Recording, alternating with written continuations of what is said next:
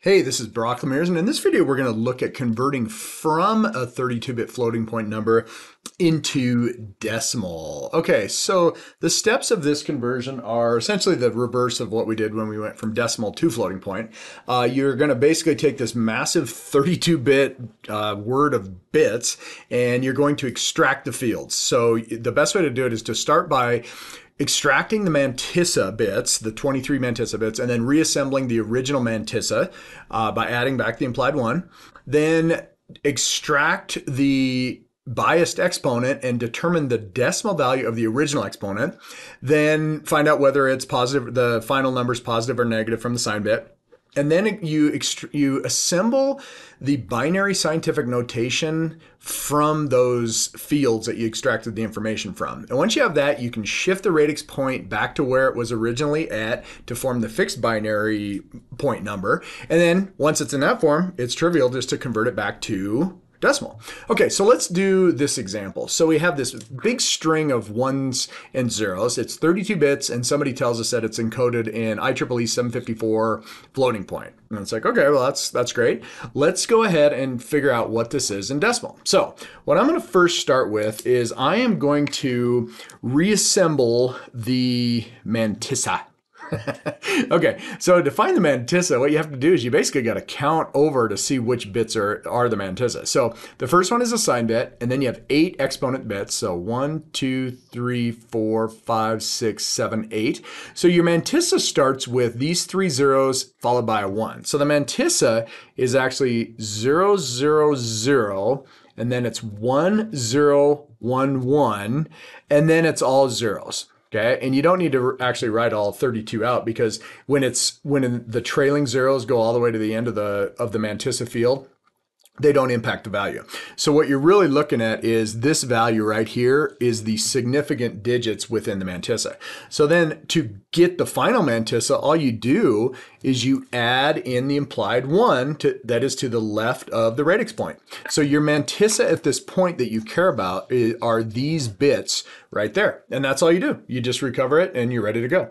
So the next step is going to be to determine the original exponent. Okay, so what I want to do is I want to extract the exponent bits from this field, and I just need to remember that the first bit's a sign, and then I have eight exponent bits. So I'm going to have one, zero, zero, zero, zero, one, zero, zero. So I got eight bits here. One, two, three, four, five, six, seven, eight. So these are my exponent bits, but remember that they're biased. Okay, so what I want to do is convert this to decimal. So if I convert that to decimal, I see that I've got, you know, basically you've got a weight associated with each position. So this is a weight of 1, 2, 4, 8, 16, 32, 64, 128. So you basically have 4 and 128. So this comes out to be 132 in decimal.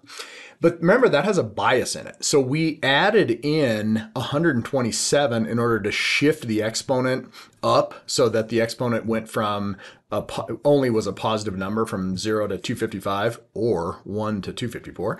But what we have to do is you simply subtract out the bias of the 32 bit floating point number and you're left with the original exponent, which was 5. Okay.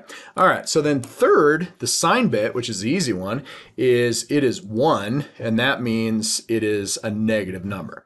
Okay. So we have everything that we need in order to create the scientific notation of the binary number. So what I'm going to do is I'm going to take the mantissa and I'll move it down here. So I'm going to have one, zero, zero, zero, 1011. So that was this mantissa came down there.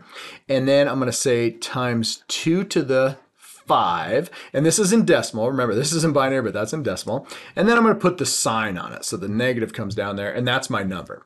At this point, let's go ahead and move this back into a fixed point binary number by shifting the radix point, the number of bits or the number of positions given in the exponent. So in this situation, we have 5. So what we're going to do is go one, two, three, four, 5, and that's where the fixed point is. And what we are left with is negative 1, 0, 0, 0, 1, 0, and then the radix point, and then 1, 1, and that doesn't have the exponent in it because we took it out, and that is base 2.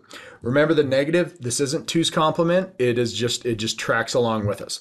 So now we're ready to go. The last step of this is to simply convert this into its decimal number. So when it's fixed point, I convert the the whole number portion separate from the fractional part. So in this situation, you know, doing my weight application again, this has a position of, or this position has a weight of one, this is two, four, eight, 16, 32. And so I've got, I've got a weight of two and a weight of 32. So this is actually 34 decimal, bring that negative down. And then this right here has a weight of 2 to the negative 1, 2 to the negative 2. So this is a half and this is a fourth. So this is 0.5 and this is 0.25. So the answer then becomes this is 0.75 in decimal.